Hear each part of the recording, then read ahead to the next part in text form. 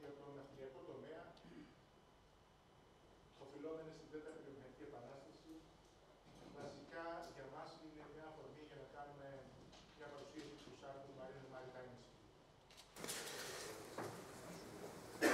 Υπάρχει ένας ορισμός για την ε, τέταρτη βιομηχανική επανάσταση, ο οποίος ε, προσπαθεί να περιγράψει αυτό το φαινόμενο το οποίο το αντιλαμβανόμαστε γύρω μας. Θα προτιμούσα μία πιο σύντομη πρόταση που λέει ότι πλέον η πληροφορία είναι ένα κομμάτι της ύλης. Και κάποια στιγμή αυτό θα περπατήσει και θα αρχίσει να γίνεται αντικείμενο της οντολογίας, της φιλοσοφίας, ενδεχομένως και της θεολογίας. Ε, σκεφτείτε ότι ε, προσπαθούμε και καταφέρνουμε να βάλουμε την πληροφορία στην ύλη, όταν η πληροφορία ξεκίνησε από το κύτταρο. Η πληροφορία είναι μέσα στο κύτταρο. Υπάρχουν δύο πάρα πολύ σοβαρά προβλήματα που αντιμετωπίζει ο τομέας της ναυτιλίας. Ξεκινά το δεύτερο. Πρέπει να απαλλαγεί από τη χρήση των καυσίμων που σχετίζονται με τον άνθρακα. Είναι στριμωγμένη η ναυτιλία και ο IMO και η Ευρωπαϊκή Ένωση με τους κανονισμούς τους ζητούν μείωση στα NOx, μείωση στα SOX, μείωση στα greenhouse gases. Οι λύσεις που έχουν μέχρι τώρα προταθεί δεν φαίνεται να μπορούν να επιλύσουν ουσιαστικά το πρόβλημα όταν το 2050 πρέπει να βρίσκεσαι 50% κάτω από τα επίπεδα αυτών των χρόνων. Τι σχέση έχει αυτό με την ε, ψηφιακή εποχή; Είναι βέβαιο ότι χωρίς τα εργαλεία της τέταρτης βιομηχανικής επανάστασης ούτε αυτό μπορούμε να πετύχουμε. Και βέβαια, ε, το πρώτο μεγάλο ε, θέμα που αντιμετωπίζει η ναυτιλία είναι αυτό που αντί να το λέμε digitalization, θα ήταν προτιμότερο να λέγεται digital transformation. Ε, συζητήθηκαν, γιατί είχα, είχα τη χαρά να παρακολουθήσω εξαιρετικές ε, ομιλίες σήμερα. Ο, ο Γιάννης ο Γεωργίου μπήκε πάρα πολύ βαθιά σε αυτό που έχει να κάνει με την μελέτη της αντοχής στο ΧΑΛ. Είναι χαρά μεγάλη για τον τόπο εθνικό δυναμικό ότι υπάρχουν εταιρείες όπως η Prisma Electronics, ελληνική εταιρεία που κάνει όλη αυτή τη δουλειά, ο Δαναός. Ε, άρα ε, βλέπετε ότι υπάρχει ένα εθνικό δυναμικό στην ακαδημία, στη βιομηχανία και βεβαίως υπάρχει η βάση σε αυτά που είναι η ναυτιλία. Συζητήθηκε ήδη, ε, πάμε στην αυτονομία, τα τέσσερα επίπεδα της αυτονομίας. Έχουμε πάρα πολύ δρόμο ακόμα μέχρι να δούμε το fully autonomous ship, όπου δεν θα χρειάζεται κανείς να είναι on board και βεβαίως θα μπορεί το αυτόνομο πλοίο να αποφασίζει πράγματα μόνο του. Μια άλλη εφαρμογή πάρα πολύ ενδιαφέρουσα είναι τα digital twin ships, δηλαδή δύο παράλληλες διαδικασίες όπου ένα πλοίο κατασκευάζεται στον πραγματικό κόσμο και το ακολουθεί ένα δίδυμο ψηφιακό πλοίο το οποίο παραδίδεται και αυτό όταν έρθει η ώρα στον ιδιοκτήτη για να το παρακολουθήσεις σε όλο το, life cycle. Και μάλιστα με το πλεονέκτημα που έχει ε, το ψηφιακό δίδυμο να βελτιώνεται διαρκώς στην πορεία, σε όλη τη ζωή του πλοίου. Δεν είναι όμως μόνο αυτό. Ε, ήδη τα συζητήθηκαν. Υπάρχουν πάρα πολλοί τομείς που επηρεάζονται στην περιοχή της ναυτιλίας. Ε, χρησιμοποιούμε drones για να κάνουμε inspection. Ενώ drones τα οποία είναι airborne. Χρησιμοποιούμε επίσης μη επανδρομένα υποβρύχια για να κάνουμε inspection και πολλές φορές και maintenance. Υπάρχει μεγάλη εξέλιξη στο τι συμβαίνει στα λιμάνια. Ε, τα οχήματα στα λιμάνια είναι αυτοματοποιημένα, οι γερανοί είναι αυτοματοποιημένοι, οι διαδικασίες είναι αυτοματοποιημένες. Και επίσης, ε, κάτι που δεν πρέπει να διαφεύγει της προσοχής ε, όσων σχετίζονται με την απασχόληση στην περιοχή της ναυτιλίας, είναι ότι αυτό που ζητάμε τώρα είναι ανθρώπους που θα είναι ειδικοί στην βελτιστοποίηση της αποτελεσματικότητας στη χρήση της ενέργειας, στον αυτοματισμό, ένα στάδιο μέχρι την αυτονομία, Στο cyber security, να βάλω και το safety γιατί ε, υπάρχει διαφορά. Cyber safety, cyber security και data protection.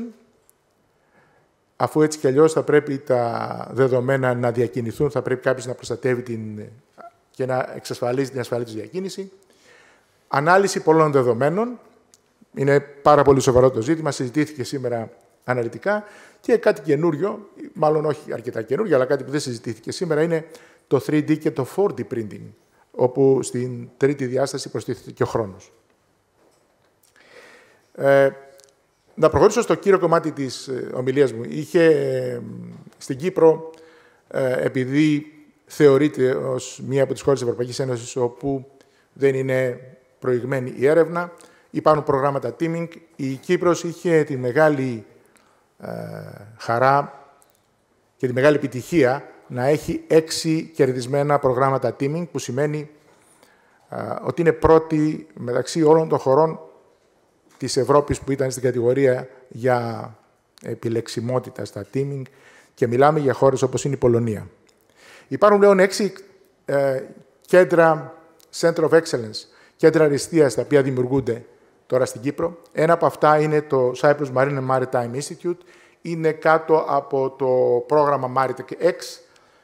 Ε, βλέπετε τους advanced partners για το technology transfer που είναι το SMMI, το Southampton, το Smart Bay Ireland και το Marine Institute. Υπάρχουν δύο εξαιρετικές μικρές εταιρείες, αλλά πάρα πολύ δυναμικές, η Single Generics και η Geoimaging. Ένα uh, Ινστιτούτο, το Maritime Institute of Eastern Mediterranean, από το οποίο ξεκίνησαν όλα.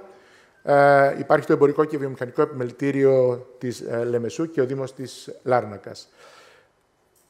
Έχουμε ήδη το CMI, το οποίο ακριβώς εκ του τίτλου και εκ του βασικού σκοπού θα ασχοληθεί με τα μεγάλα challenges που σχετίζονται με τη θάλασσα, με αυτό που γενικά ονομάζεται Blue Growth ή Blue Economy και έχει να κάνει με το Maritime Trade and Transport, τα Marine Bioresources, Energy and Subsidy Resources, Climate and Environment, Society and Governance.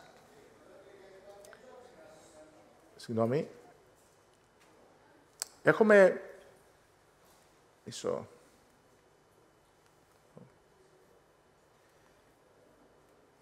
Συγγνώμη. Ήδη με βάση την πρώτη φάση του προγράμματος, η Ευρωπαϊκή Ένωση μας έδωσε μισό εκατομμύριο ευρώ για να κάνουμε τον gap analysis που χρειαζόταν και ένα business plan. Με βάση αυτό προέκυψαν τα key areas of expertise που θα πρέπει να ενσωματωθούν και να λειτουργήσουν στο πλαίσιο του CMMI. Ήδη έχουν εξειδικευθεί ακόμα περισσότερο σε μια σειρά τεχνολογιών οι οποίες είναι κρίσιμες για την πρόοδο στην περιοχή του Blue Growth και του Blue Economy. Και εδώ ακριβώς είναι ο τρόπος με τον οποίο επιλέγει το CMMI να λειτουργήσει. Υπάρχει για κάθε ένα από τα core projects ένα Research and Innovation Mission Unit, όπου εμπλέκονται οι advanced partners, οι ε, στρατηγικοί εταίροι που έχουν εμπλακεί ήδη με letters of commitment. Να σημειώσω ότι εκτός από τα 15 εκατομμύρια ευρώ της Ευρωπαϊκής Ένωσης εξασφαλίστηκαν 15 εκατομμύρια ευρώ ε, για υποδομές από, την, από το κράτος της Κύπρου και υπάρχουν και άλλα 10-12 εκατομμύρια ευρώ σε in-kind contribution και σε ε, χρήματα από ε, local partners οι οποίοι έδωσαν commitment γι' αυτό.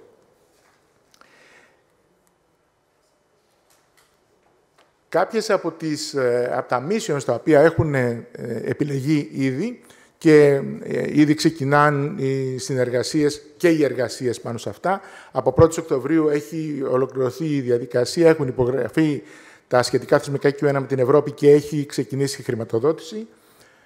Ήδη το CMMI είναι legal entity, υπάρχει ένα 25 μελές ε, Board of Directors και είναι μαζί μας ε, σήμερα ο κ. Πρωτοπαπάς, ο οποίος είναι μέλος του 25 μελούς ε, BOD, στο οποίο υπάρχει μια ε, θα λέγαμε, μια σοφή ισορροπία. Υπάρχουν μέλη από την ακαδημαϊκή κοινότητα, υπάρχουν μέλη από τον δημόσιο τομέα, όπως είναι και το πρόσφατα ιδρυθέν στην Κύπρο Υπουργείο για την Αρτελεία, Υφυπουργείο για την Ακρίβεια. Και βεβαίως υπάρχει πολύ ισχυρή η συνεργασία και η στήριξη από την βιομηχανία, από τη μεγάλη ναυτιλιακή βιομηχανία στην Κύπρο, ε, που όπως και στην Ελλάδα είναι ένας τομέας που εισφέρει ε, το μεγαλύτερο ποσοστό του ε, εθνικού προϊόντος, με καθαρά εξωστρεφή και διεθνή χαρακτήρα. Αυτή είναι η δομή του, όπως θα λειτουργήσει το CMMI. Υπάρχει το Board of Directors και μια διεθνής επιτροπή συμβουλευτική, η οποία ε, στηρίζεται τόσο σε ακαδημαϊκούς όσο και σε εταίρους από την βιομηχανία.